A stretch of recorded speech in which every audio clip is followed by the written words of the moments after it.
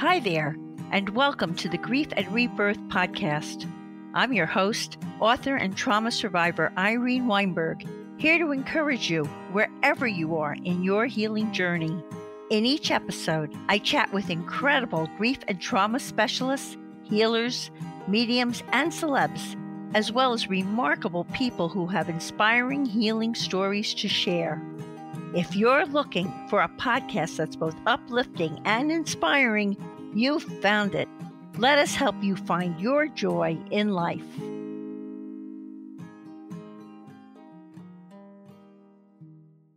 Hi, everyone. I hope this finds each of you so very well.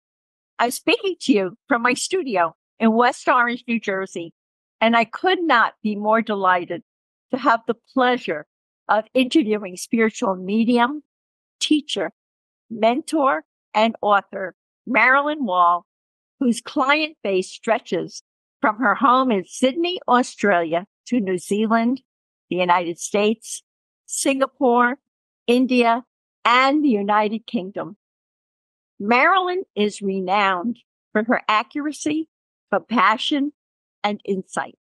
She has taught in the USA alongside celebrity mediums, appeared on TV, been featured in highly regarded magazines, appeared as a guest medium on In Spirit TV, demonstrated in America at the Journey Within Church, been interviewed by Spirit's Voice, an online community, and she is the author of the inspiring and uplifting Knowing a Medium's Journey about her unfolding from a shy and demure child into a brilliant light for the spirit world.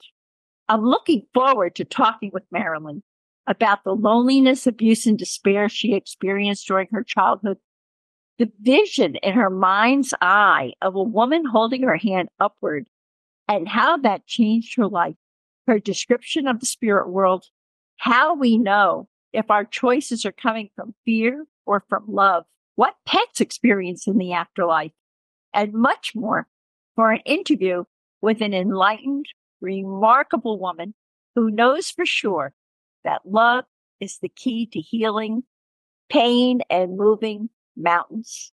Hi, Marilyn. A truly heartfelt welcome to Grief and Rebirth podcast.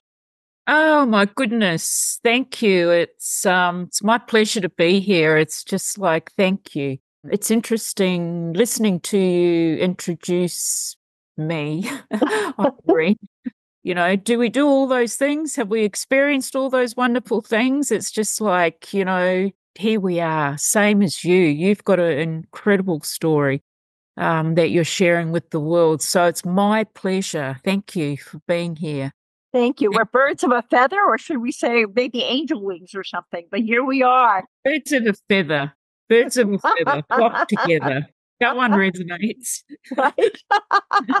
so let's start from the beginning. And let's talk about your childhood. I mean, you had loneliness, abuse, despair. You knew you were different from other kids and you knew things that others could not know. You want to tell us a little bit about those developmental years? Oh, gosh. You know, looking back now seems like a long time ago memory. it's not here today. But when I wrote my first book, Knowing, I think that was really when I started to understand myself. I don't know whether I understood, like probably so many people, um, what was really going on in my life as a child growing up.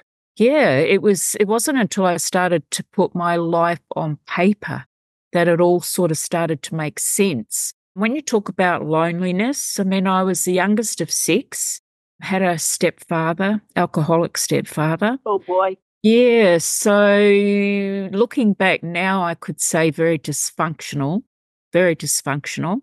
There are a lot of things I didn't talk about in my first book that I probably feel ready to talk about now, more of what it was like growing up it's taken that long for me to be able to put it on paper. Yeah, but like you know, that's probably the best way to heal self. Yeah, is to, you know. Beautiful. Well, I'm wondering, these yeah, look so at it. you had this difficult childhood, but I would imagine, and it's also informed me because I also had this difficult childhood of how it relates to the work you now do in your life, right? You feel like it, in a way it was preparation for a greater Absolutely. understanding. Everything, everything, everything. I think everything that I've been through in my life has given me this opportunity to have more people come to me and for me to be more understanding of situations. Because I feel that if we haven't experienced something ourselves, we really truly don't have an understanding of, of what it's like.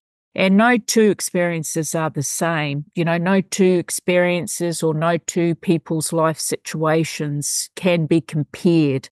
Yeah, but for me, if, I've got to experience something to to actually understand it, to have that epiphany, to have that lightning bolt moment, to have that spiritual awakening, to to understand compassion. Really, it comes back to compassion. I think all the things that I've experienced in my life yeah, have been for that greater understanding. I feel I feel likewise. And as far as in your childhood, you also had a knowing and abilities and things that made you different from others. And one was you had experiences with watches that continue to this day and explains how our concepts of time and space are different. And you can explain how our concepts of time and space are different on each side of the veil, which is very dear to my heart, Marilyn, because I have a problem with time, honestly, on this side. Everyone is very oriented towards, you know, you have to be somewhere at the dot of time of something. And I always say, well, maybe part of me is on the other side already because I'm not as focused on there's no such thing as time there, right? So can you explain to everyone about your experiences and how the concept of time and space are different? So that uh, we can finally relax when we cross over. We're not going to be so pressured with time. the concept of time that humans have formed.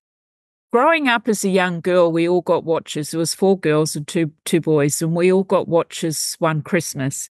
But my watch always stopped, or it went fast, or it lost time.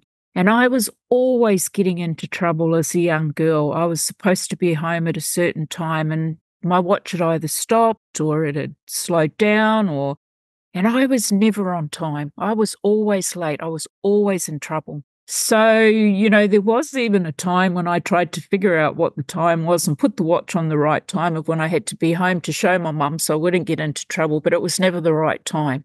Yeah. And to this day, even if I'm out and people don't believe me, if I say to someone, well, give me your watch and I put it on for five minutes, it either stops or it just goes backwards.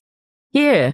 so magnetic pull inside of you, do you think, or your natural your vibration, or, or what do you think that is? Maybe the spirit world just trying to get through to me that there's no need to worry about time. Like you, I just move through life. Um, you know, planning I don't know, there's a certain amount that we have to sort of plan and we need to, you know, turn up on time, you know, when you're, you know, you've got appointments and things. But yeah, other than that, just it doesn't rule my life. It doesn't rule my life. I've learned from those in the other world that there is no time in their world. There is no time in their world. And, you know, if you understand that concept or you've experienced it, the same is here. We're just really walking through space in our everyday life. And who wants to be ruled by time? Who wants to be ruled by time? Yeah, but then it comes back to, you know, being ruled by, you know, anything really. We can still turn up and be on time without the concept of time ruling us. So I don't know. I, I, I don't I don't know about you know the magnetic field. I mean that's a that's another thing I'd probably have to sit with for a few minutes. But you probably have some kind of a strong vibration that turns off those watches. I'm just always in the other world. I think there's no separation, you know, it's it's part of us. A lot of people think that the work that I do and, you know, being labeled a medium is, you know, that I've got five heads and 10 arms or something. But, you know, it's just, it's no different to the next person. It's just part of us. You know, there's no separation. And I guess that's the best way that I can describe the, the watch and the time. It's the spirit, the spirit world, those in the other world, life. It's just part of us. And if we're aware that, you know, this form is a form, we can go beyond that. We can go beyond that. So, you know, I'm never late. I'm always on time. You know, I've got no time for people that are late. So, you know, that's the irony of me not wearing a watch and me not really, you know, being ruled by time. I'm always on time. Isn't that interesting? Yeah, but I guided. I'm guided. It's almost like I've got a clock within me, you know, and I can read that clock and I can read that time inside me. I can see it. I don't need a, a clock on my arm. In you a know, way, that's better. So Yeah, you know, absolutely. you're, getting, you're getting Yeah. these, you're getting these heavenly nudges when you have to be somewhere. So yeah, and I really love when I was learning about you that your personal you went through all of this in your childhood. You went through, you know, you were confused. You knew you were you had these gifts, right? That I mean, when you were a kid, were you able to see spirit already and all of that? I don't ever remember waking up to some of the stories my students have shared with me, you know, seeing hands floating around the room or spirits sitting on the end of the bed. I don't ever remember experiences like that. I've always had imaginary friends. I guess my, you know, my toys growing up, my stuffed animals, my dolls, whatever it may have been growing up. I guess they were my my friends. They were my communication. They were my life. I mean, they always answered me, you know, and that might have been where part of my loneliness or or walking alone might have come from because I never felt alone. You know, I probably just thought it was normal to, you know, have a conversation with a, a hippopotamus toy or something because it would communicate to me or with me. Yeah, and I always had a and a love of nature and I had a love of um, animals and and so in that respect I was never alone. Um, it was sounds just to me. It sounds to me like you were being provided comfort behind the scenes absolutely yeah. support. being alone, but always knowing that you weren't alone. I I always knew I never walked alone. I could walk down the street and I, I didn't feel alone. And it wasn't until a lot of years later um, that I probably even understood, you know, that there was a, a team of people walking with me from the other world. Yeah. That's marvelous. So something though drew you to go to this lifelong lifeline counseling service and begin to get into essential oils, especially rose essential oil, which began your personal healing journey, which brings you closer to where you are today. So could you tell us about that? I was a mum. I was a mum. I had two children. My gosh, I couldn't have wanted for anything in the material world. And there was an emptiness. Yeah, there was just an emptiness. Um, and I woke up one morning and just felt like I wasn't living the life that I came here to live. And that feeling, as you can imagine, I mean, it was pretty overwhelming. I mean, I had this life, I had a family, I had everything, everything and nothing, so to speak, because this emptiness was bigger than all of it. So I started just walking. I was just roaming the streets. I'd take my children to school and I'd just walk and walk and walk. And I ended up on the river edge one day, probably asking for help, not aware that I was asking for help at the time.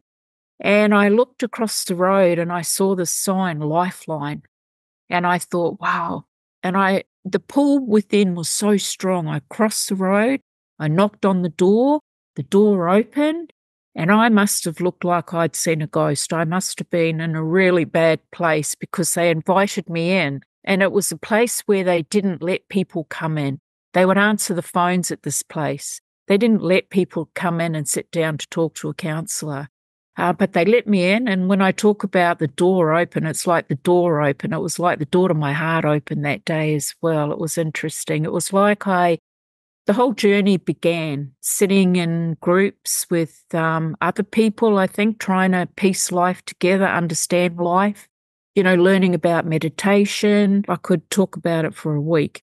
Yeah. You know, finding out, you know, who, who I was, where I needed to go, understanding, you know, fear, understanding love, decisions we'd made. It was it was a journey, it was a journey that took me into a lot of different arenas. Gosh, I spent time serving the, the homeless in that time, and that was so fulfilling.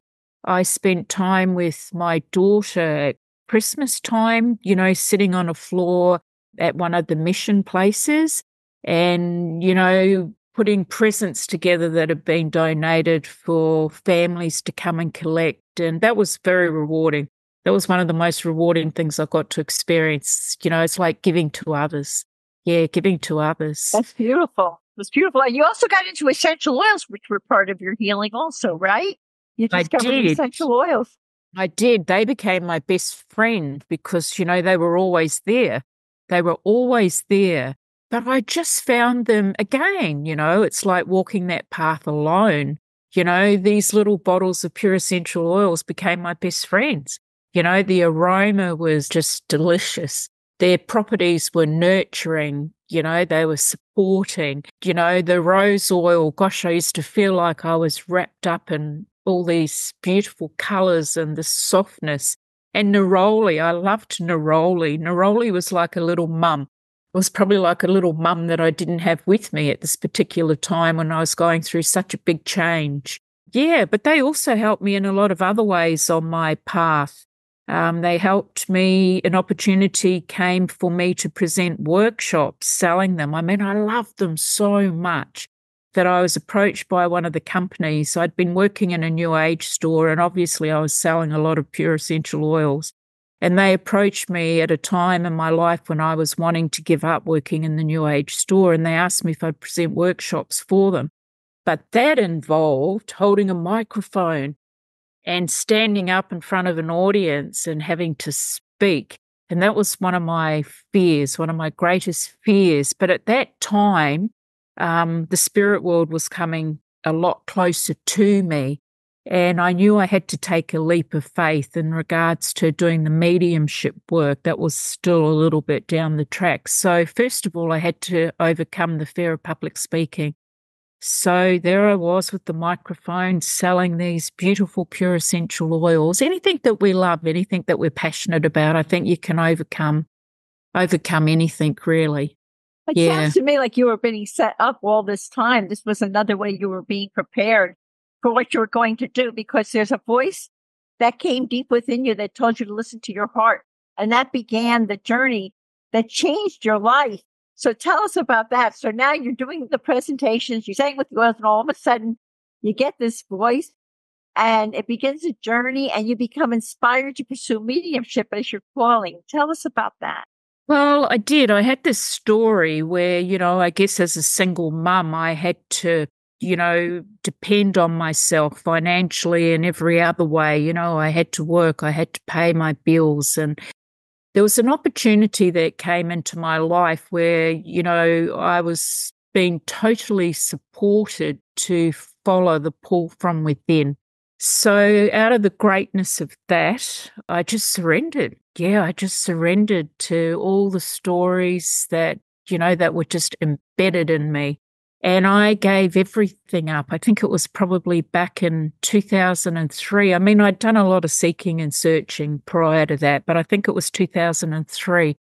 And the energy that was coming in from those in the other world and to work with the other world was was was deepening and I just gave everything up. I just surrendered. I was very nomadic. I felt like I was just roaming the streets, trying to understand, you know, the spirit world. I'd find myself laying on my lounge room floor because the energy was so intense that I wasn't sure wow. what was going on.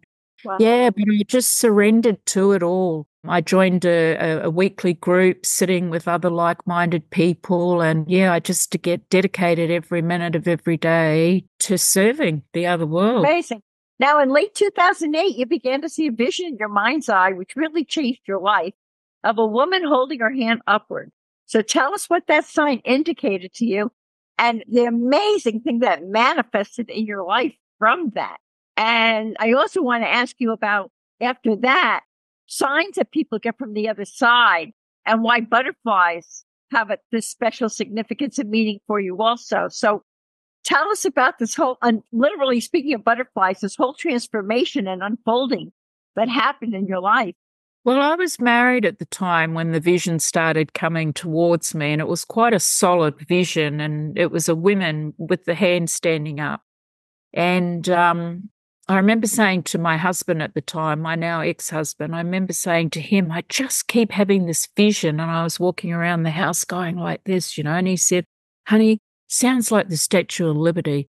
And I said, New York. I said, well, that's where I'm going. And he just sort of looked at me. I guess he was used to me. And then I mentioned something to another medium friend, and James Van Praagh's name must have come up. And I, computers weren't my friend. But anyway, somehow I found James Van Praagh's website. Don't ask me how. Obviously, those in the other world just mm-hmm. guiding. They knew. Yep. You know, if I try and think how I turned a computer on in those days, let alone found a, you know, a web link. But anyway, it happened. And here I was reading about this man, James Van Praagh. But all I saw on his website that he was taking a class, all I saw was the NY New York. And I thought, that's it, that's where I'm going. Well, I put an application form in. I marked the time off in my diary. I didn't hear anything back from Rhinebeck in New York where he was teaching. And I just thought, well, that's it, not going. Got it all wrong. And then I think the next day I woke up and there was an email, and it had been summer holidays, I think, in America or something. And, you know, the campus, nobody had been there, and they got back to me, and here I was. I was going. This was the Omega Institute. New York, the Omega right? Institute, yeah. Mm-hmm. Yeah, yeah. So then that brought up a whole lot of other things, Irene. You know, I had to face a lot of fear about getting on a plane, going somewhere I'd never been by myself so I had all these fears to face. What was I going to do when I got there? How was I going to manage? And, and my daughter looked at me and said, Mom, you've been talking about nothing other than this for months. It's just like, go. And I went and it all just fell into place, you know, it, as it does. Like you know, meant to be, like it was it, meant to be. Yeah, if you surrender and if you trust and you follow the pull from within. And there I was, here I was in New York, upstate New York. And I'm sitting in James Van Praagh's workshop. And I think the second day I heard Spirit's voice say to me that I would be the third person to go up on stage. And I'm sitting there having this conversation with myself, thinking, yeah, right. There's 500 people in the room. And, you know, here I am being told by the spirit world that I'm going to go up on stage, you know. So, anyway, two people have been up on stage to deliver messages. And James said, Is there anyone else who'd like to come up? Well, I was catapulted out of my seat. Don't ask me what somebody, happened. Somebody propelled you. the spirit within was ignited, and there was this force greater than myself. And here I was on stage, standing next to James Van Praagh delivering a message to the audience. Wow. And that and that's another story. So then after that, I think the next day, just briefly, I wandered into a class early because I had a question for James around some trance energy. And he said to me, Come over here and we'll talk to this person over here. And he said, Can you tell Marilyn what we were talking about last night? And James had been talking with this other lady about asking me and getting some people together to sit in a circle with the trance energy the night before. And I'd wandered into the class early the day asking him a trance question.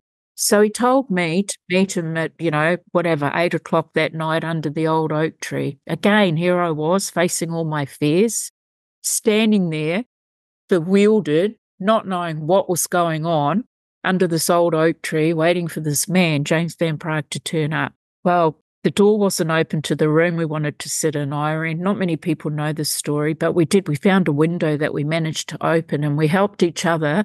And one of us James helped each other through the window. Oh my one goodness. Of us, one of us got through. Well, there was a few of us to get through the window so we could go and open the door to let the others in yeah, you know, it's like to make things happen sometimes, you know, you know, you just move beyond any obstacles that are there. Yeah. But also so, a wonderful bonding experience with you and James. Yes. And then I went back to Sydney and I wanted more of what I experienced with James. And I ended up on a cruise about six weeks later. I went to Rome and here I was embarking on another journey. You know, this person who was fearful to go to New York, here I was flying to Rome. James got wind that I was coming and he started to email me and he said, Look, if you can get to the airport at such and such time, we land and we'll be there and you can come with us. Well, lo and behold, I found a plane that landed the same time that he was going to be at the airport. And here's this two, two sort of strangers looking at each other at the terminal, banging into each other. And, and that was oh. it. We were off on a journey. And one of the nights on the cruise, he said to me, What are you doing after this? I said, Just going back home. He said, Do you want to change your plans and travel with me? And he said, I'm going to the UK. You want to tour with me around what the UK? What a compliment that he saw you the way he did with your gifts. Wow. So I got to travel with him and learn from him and sit in audiences, watch him work, Tony Stockwell and some other people. Wow. It was just incredible. Yeah, it was just incredible. But there were a lot of fears to face and there were a lot of tears along the way, you know, but just human things that you've got to push through that you've never pushed through. But hey, you know, you just get up to survive another day and, and go beyond because really that's all there is. That's all there is to experience while we're here, just to continually, you know, go beyond, you know, the limitations that hold us back. And then there's the story of the butterflies. When you talk about the butterflies, I did hear a voice I am from the spirit world loud and clear. Like as a medium, we don't always hear, well, I don't, and a lot of other mediums, we don't always hear the spirit's voice like this, like you and I talking. But often if there's a, you know, if we're being pre-warned, you know, we we do hear it. You know, we hear it like this, loud and clear. And I was at home in Sydney one day and I heard this voice say, Your mum died today. And I wasn't speaking to my mum. I hadn't spoken to my mum. We'd had a little disagreement. You know, you look back and think just how how crazy all that is, you know, that we get so caught up in in nothing. So I immediately picked up the phone. I had this whole overwhelming sense, you know, what if my mum did die? What if I hadn't spoken to her? You know, I get to work with people in the other world. I get to sit with people who didn't get to say goodbye. You know, I knew the importance of talking to my mum if I had that opportunity again. So I rang and my mum answered the phone. That caused me to try and think, well, hey, what were they trying to tell me? Was it a premonition? If my mum answered the phone and my mum wasn't dead today, what was what was that all about? And I yeah. I got to understand that it was a premonition, no time in their world you know, no time in their world. And I'm grateful that I heard that and I got you know, another six to nine months to to visit my mum and spend time with my mum. That whole time of of that happening, um, the number eleven became relevant. You know, you talk about signs. The number eleven, I was getting on a plane at eleven o'clock. It was eleven degrees. We were landing at eleven. It was aisle eleven. Wow. Yeah, so I knew there was something to do with the number 11 as well in regards to a sign as to, you know, my mum. I was trying to figure it out. Is there 11 days? Is it the 11th month? Is it the 11th hour? At that time, you know, I guess the messages weren't quite as clear. So, you know, I had a little bit of a gauge when I received a message. You know, was the number 11 the 11th month? Was it the 11th hour? Was it 11 minutes, so to speak, just for, for your listeners? And you know when i shared these stories with my other brothers and sisters i mean everybody always thought i was crazy you know i was always like sheep it was always different you know i was always losing my marbles or something there she goes again yes. Yeah anyway. So there's just so much in between all of that but when my mum did pass i got a phone call and it was the first to the 11th the first oh. to the 11th it was 11 o'clock in australia and I jumped on a plane, and there was a chance that she would have passed by the time I got to New Zealand. Well, she did. She passed when I was in the plane. But the interesting thing about that was I was trying to see what the time was in New Zealand because Australia and New Zealand on different time zones. And I wanted to know the exact time of when my mum passed so that I could ask one of my sisters because you know I just wanted to know because I had actually this, you were looking for validation of what you yeah yeah I had this yeah I had this overwhelming um, sense from the spirit world in the airplane of knowing my mum was passing. So that was when time was important to me, um, and as you say, validation. So afterwards, when I landed in New Zealand, my mum had passed, and my mum hadn't spoken for a couple of days. But one of my sisters said she called out my name before she went to the spirit world. And I just thought it was interesting that here I was suspended between the worlds. you know, doing the work that I do. Gosh, it brings tears to my eyes. And just the beauty of it all, of knowing, you know, that I'm between the worlds and my mum's passing, you know, she's between the worlds. It was like, here we are together, but in a different way. It was just beautiful. But when I left the hospital, my sister was very distraught, and I got in her car and I said, I'll drive. And when I got in the car, I said to her, Wow, what is it with these butterflies? Like her car, the visions for me, you know, I see things very clearly. And it was like her car was full of pretend butterflies. Wow. And she's like, she took my arm and she says, Sis, what did you say? And she was crying and crying and crying. And then she told me the story. I wrote about it in my book, knowing how my mum, before she went to the other world, there was a couple of days where my mum was sitting trying to catch this pretend butterfly. And she'd told my sister it was the most beautiful, you know, iridescent color. Um, so yeah, you know, I have a butterfly on my website, on my book, and and for me, butterflies are, you know, are knowing that my mum's around. I mean, it's not that my mum's a butterfly. You know, we get so caught up in the human world, we get into a denser place, and we think those in the other world aren't with us. But the spirit world's told me, you know, they're omnipresent in our everyday life. They've told me that it's us who shifts our attention. Well, I had to Google omnipresent because I didn't even know what the word meant, let alone I could say it or spell it. So I mean, I knew it didn't come from me. Yeah. So that's the significance of butterflies, you know, for me and in connection to my mum. Sometimes, you know, I might be feeling alone or I'm caught up in the human world and and I feel that she might not be with me. And as I talk about it now, it's almost like, you know, she sort of hits me over yeah, the head. I'm here, I'm here. Well, I'm I here. also, yeah, I'm here. I also feel butterflies represent transformation. And Absolutely. You, you had such a transformation. So I could really see that being your symbolic spiritual totem yeah. or whatever also. Yeah. And speaking of butterflies, I want to ask you because you got a well known bumblebee reading that you talked about in your book. Can you share that uh, with everyone? Because now you're becoming a medium and you're doing all of this. Actually, I have three questions for you. I want to hear about your bumblebee reading and then whatever you can share with our listeners about the spirit world. And I know you'd also talk in your book about what pets experience in the afterlife. So could you tell us a little bit about all of that? I remember doing one of my first ever readings in person and I'm sitting with this girl and I'm hearing Bumblebee and I'm thinking, gosh, you know, in those days I was probably a little bit in the way. And I'm sitting there thinking, gosh, this girl's just paid me to come and have a session. And for the moment, all I feel I've got to give her is Bumblebee, Bumblebee, Bumblebee. I may have said to her, you know, that there was a man from the spirit world. I don't remember exactly, but I do remember the bumblebee. And this girl, when I said bumblebee, bumblebee, bumblebee, she said to me, What did you say? I said, Bumblebee. And it was almost like I pierced the heart, her heart, and the floodgates open. And she just sat there, and these tears were just endless. They were just a flood of tears washing down on, on, on her. And I'm thinking, wow, what just happened? You know, Bumblebee, Bumblebee, Bumblebee. You know, today I understand the significance of giving what we get.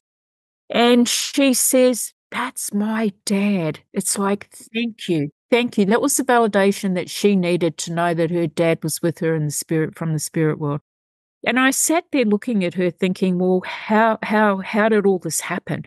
And she said to me, when my dad was alive, he was the trainer of a rugby team. And I'm still thinking, Bumblebee, Bumblebee. And she told me the name of the um, the rugby team, and I thought their colours was orange and black, and I oh. still didn't get it. I still didn't get it because here I am thinking Bumblebee, you know, yellow and black. But she had a whole story around how her dad was a trainer, and they buried him with the jersey of the rugby team. And here I am sitting there thinking the jersey, the rugby team, orange and black. That's mm-hmm. not Bumblebee, you know. Anyway, I shared the experience with my partner at the time, and he told me that many years before, the colours of their jumper was yellow, yellow and black, gold and black. So that was the colors of the bumblebee. I mean, I would never have known that. I mean, I would never have understood that, you know. So that was a big learning for me, you know, to get out of the way and and know that it wasn't about me and to just bring Right, through right, what came through. right. Because and you're also telling, and you're also telling our listeners how it comes through for you. So, like, it, as a medium, you're getting these visuals. You don't always know these visions what they are, but they're putting very significant evidence in your head so that the your sitter absolutely knows that this is their deceased loved one on the other side, without a doubt. There's, there's many ways that we receive, you know, whether we see, whether we hear, whether we feel, you know, taste, smell. There's many different ways. Um, I'm actually very clairvoyant. I see very clearly, but you know, for those listening, you know, you- you've got to understand as well that those in the other world. I mean, it's a miracle when you think that they can transfer energy to us. You know, it really is that they can impress images upon us, or we can hear them, we can feel them, we can understand conditions. I mean, it's just, it's a miracle. It's mind boggling. So there's many different ways. So yeah, in my, in my early days, I was happy to get anything.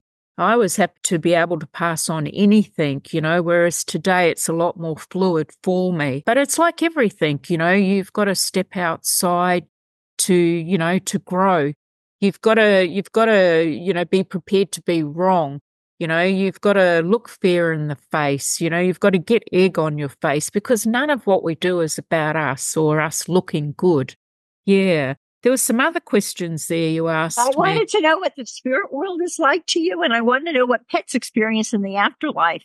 Well, for me, pets in the afterlife, I'll go there first. It's probably a quicker answer. To me, it, it's no different. I mean, you know, if I bring through an animal from the other world, you know, it's almost like they bring their life alive, you know, you know, they're in solid form. You know, they may show me, you know, that they're they're walking along a path, you know.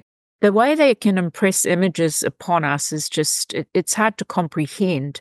But you know, they might show me that they're in a beautiful place, you know, whether it's the same whether, you know, I, I can tell you where those your loved ones are walking in the other world. You know, it could be full of rainbows, it could be full of flowers. You know, there's many different ways that you can feel it and see it. You know, is it like that in the other world? When I'm reading, I know that they're impressing upon me that they're in a beautiful place. You know, I know in that moment what they're trying to pass on to me. It's no different um, for the animals. Nobody goes to the spirit world alone. I mean, this dog that just went to the spirit world, you're talking to me, jumped into a man's arm. I mean, come on, I know. They're always impressing upon me and reminding me about things to share. But nobody goes to the spirit world. Animals, humans, nobody goes alone. There's always, you know, people there to greet us, whether it's animal or, or human, bird, you know, mouse, you know, You know, the amazing thing for me was in the very early days when I got into this world, I was in a seance. The medium looked at uh, one of the people there and she said, Why do I see five gerbils five. around gerbils? Gerbils, like those little mice or those little gerbils Oh, that people get yeah. as pets. She said, I see five gerbils around your deceased husband who's coming through. And the woman said he had five gerbils as pets. And I that was the first time I realized even those gerbils had gone to the other side. Absolutely. Absolutely. The first night I publicly demonstrated in front of an audience, I had a parrot come through. Here I am standing there thinking that I was there to deliver messages from the other world. And I had this parrot, and I went to this man in the audience. He'd been dragged along by his wife. And of course, he wouldn't have believed anything that happened that night other than his parrot came through and everything changed for him. So it is, it's interesting how it all works. What is it like in the other world? When I'm communicating with those in the other world, like I've said, you know, they can impress images upon us, you know, of what, of where they are and how I can describe that to pass on to their loved ones here on the earth. You know, I've had many different um, experiences when I've just been going to start work and I've been, oh, in a millimeter of a second, you know, I might have closed my eyes and I've traveled down a hallway, and at the end of the hallway, there's a light, and I've had a lesson, and I understand there's many different rooms that we can stop in along the way before we go to the light. There's there's many different ways to try and understand, you know, the other world. Mavis Pittilla one of my dear mentors who's now in the spirit world, she talks about worlds within worlds and I understand that in a way of teaching to people on the earth that, you know, in the earthly world, there's many different houses in a street. And in those houses, you know, we all live different lives.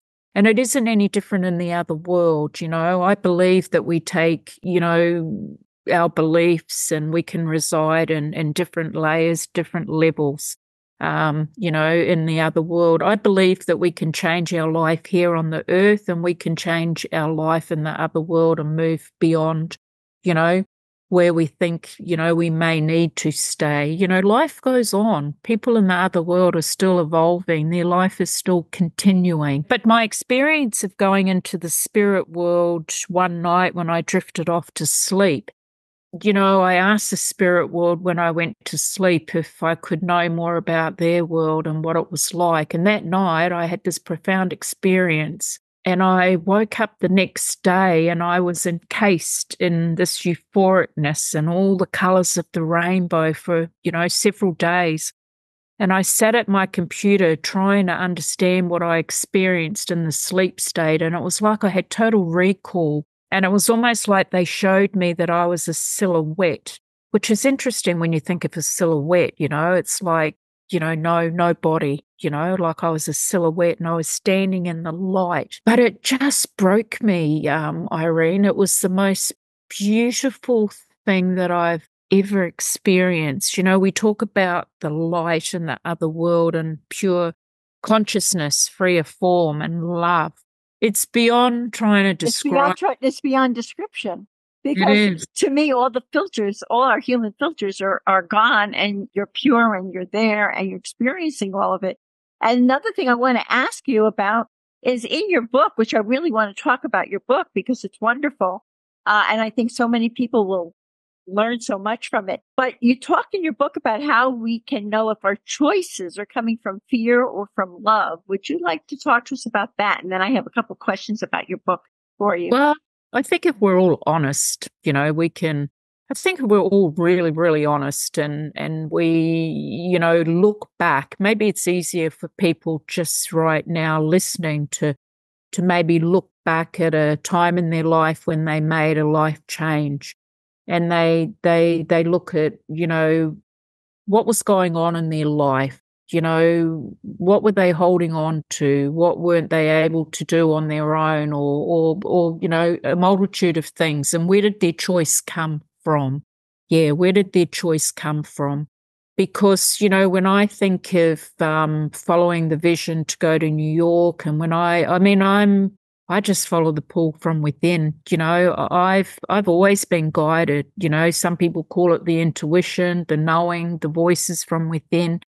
And if I didn't listen to those and follow them, I wouldn't be where I am today. So, you know, I feel that if you're able to take a leap of faith, you know that that's the place of love. That's not the place of fear. Fear fear holds us back. It's very limiting.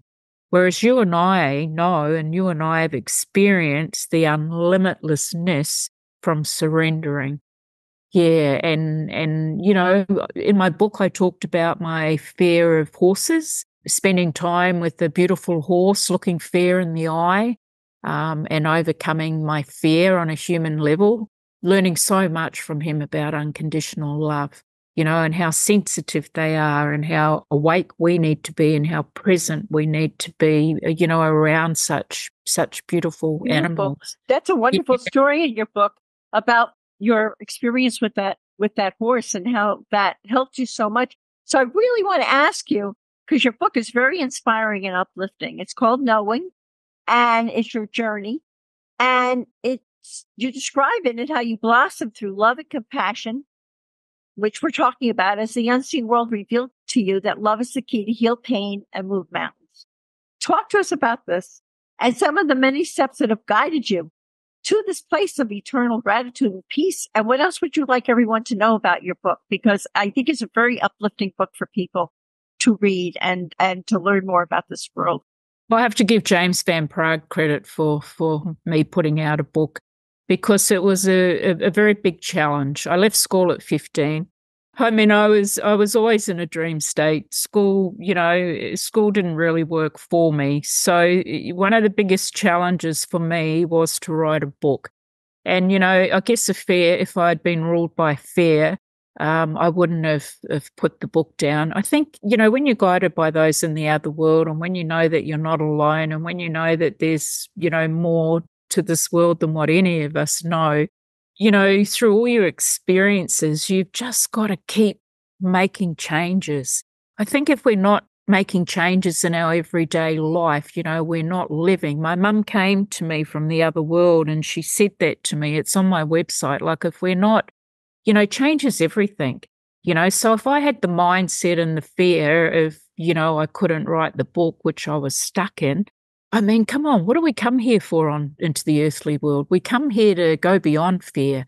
You know, we we come here to to learn about kindness. I mean, why do we come to the earth? Why do we come here? You know, what is it all about? And I think the one thing for me, you know, is right now is like facing all those things that hold us back, our challenges. And yeah, just you you cannot be ungrateful for that. I mean, for the miracles that occur in your everyday life, the support that we get along our path, you come to this place of um, gratitude. You come to this place of kindness.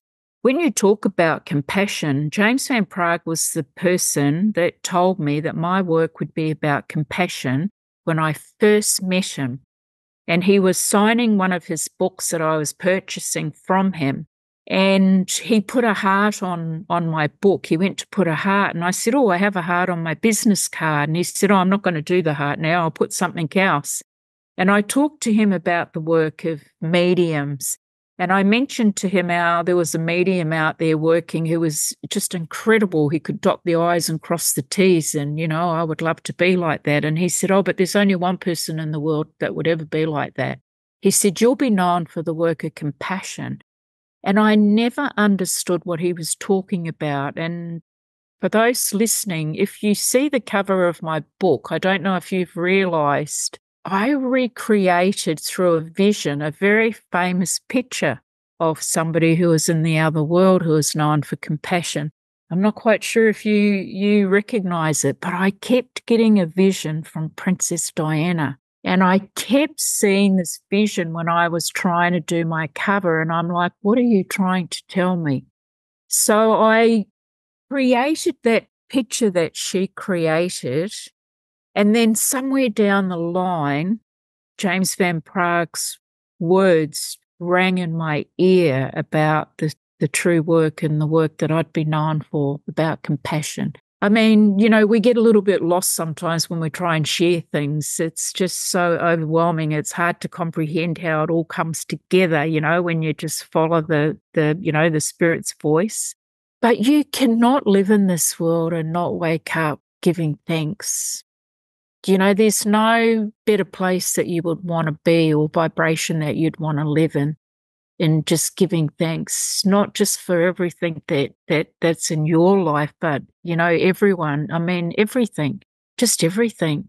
That's you know, beautiful. That's so beautiful. And I think one of the lessons that you've received, which is really worth passing along to everyone, is about being true to yourself.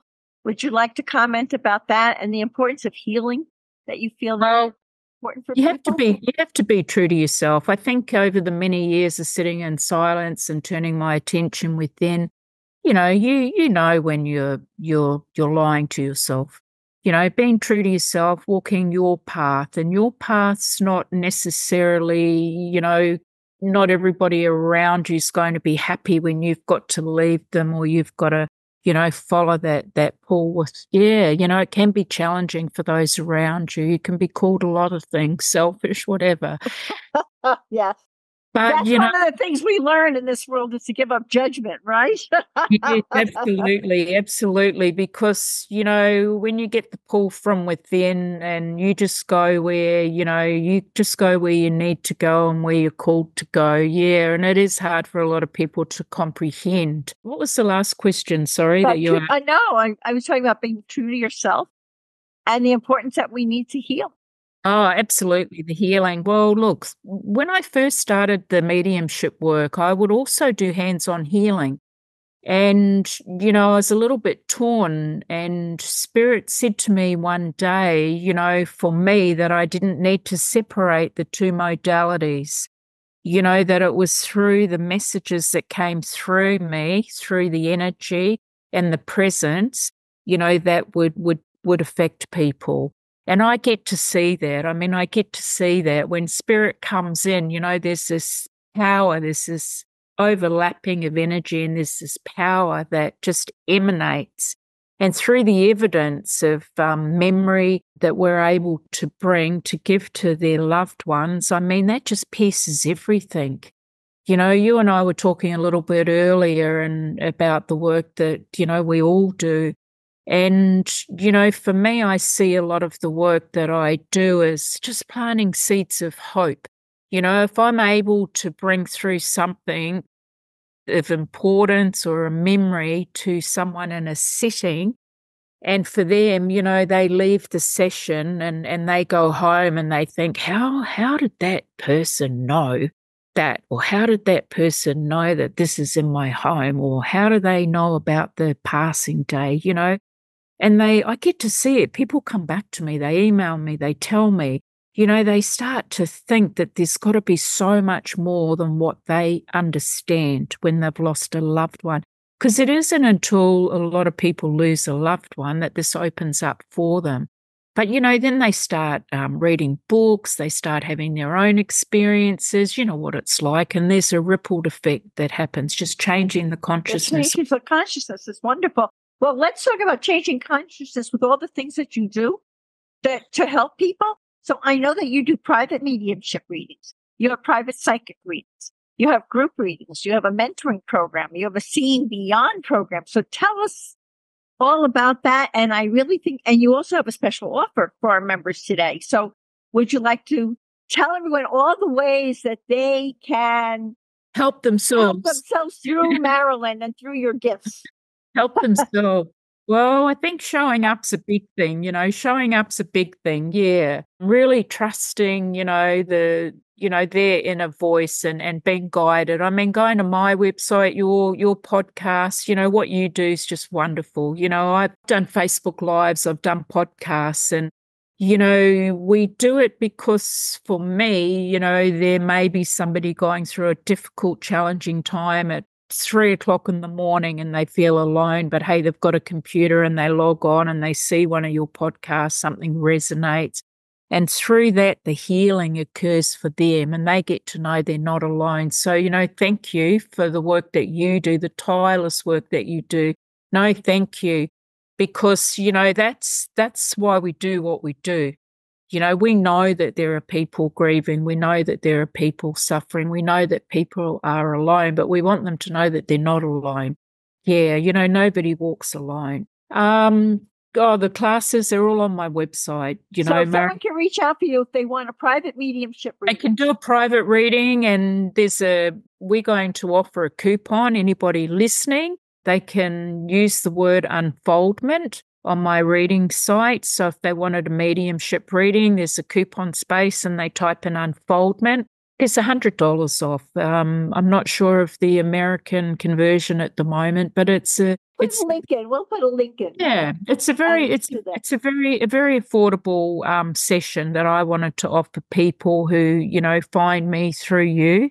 Yeah, I take many classes. I teach a lot these days. I, I love teaching. I love seeing other people experience and unfold and develop. So I spend a lot of my time teaching. I have a lot of group classes, whether it's seeing beyond, whether it's, um, you know, take your mediumship to greater heights. I also have a beginner's guide to spiritual development, whether it's five weeks. I have Allow Me to Be Your Personal Guide you know, I tailor my events to people who come to me. I love um, mindfulness, I love meditation.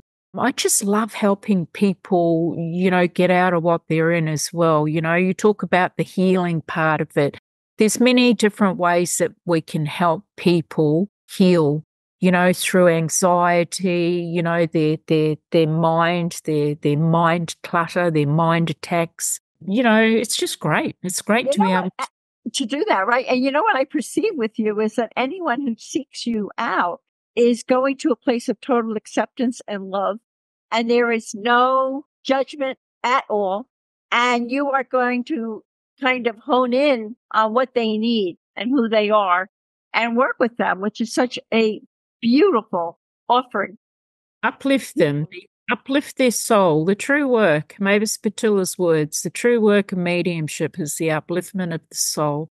And we can do it in many different ways. You know, you talk about fear and love. If you're not walking in a place of fear on the street and someone passes you, no judgment, and you smile, you know, they mightn't answer you, but you know from the look in their eye that they've been deeply touched. You know, you know that they will go home and they'll hold that moment in their heart, especially if they're very lonely and they don't have anybody. It's, you know, just the importance of being present and being available. That's beautiful. That's wonderful. And we will give all these links so people will be able to get onto your site and uh, seek you out for all that you can do for them. And I would like to know the Marilyn Whall's personal tip for finding joy in life. Honor thyself. Oh, that's a beauty. That's, that's a just beauty. what I heard. Honor thyself. Um, yeah, don't walk don't live someone else's life. Honor thyself. That's yeah. beautiful, Marilyn. You know, Marilyn, in closing, I would like to share this very meaningful quote from your book, Knowing, with our Grief and Rebirth podcast audience. We all know people who look out the window and imagine a beautiful garden while others see only the weeds. We can look at our own lives the same way. Do we see the amazing potential we hold within, or are we too fearful to step into the life we are truly born to live? The choice is ours. We have free will. One thing is for sure. The years will pass. Our time in the physical body will end and we can either have poured our hearts into becoming all that we can be, or we can still just be looking at the weeds. Absolutely. How beautiful and how so very wise. I want to thank you from my heart for being the brilliant light for the spirit world that you are. And thank you from my heart for bringing your brilliant light to this illuminating interview on Grief and Rebirth podcast. Thank, thank you so much, Marilyn. And thank here, you. thank you. And here is my loving reminder everyone that you can see the show notes and all Grief and Rebirth podcast episodes on ireneweinberg.com. And make sure to follow us and like us on social at, at Irene S. Weinberg on Instagram, Facebook, and wherever you get your podcasts, including YouTube. As I like to say, to be continued. Thank you again, Marilyn. Many, many blessings. And bye for now. Thank you. It's been my pleasure. Thank you. Thank you so much.